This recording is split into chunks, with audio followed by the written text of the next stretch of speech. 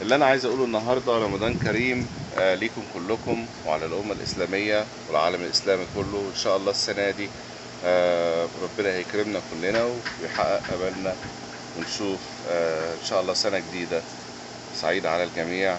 وربنا إن شاء الله يوفق الجميع والأمة الإسلامية في العالم بأسره. شكرا وإلى اللقاء. مع السلامة. السلام عليكم.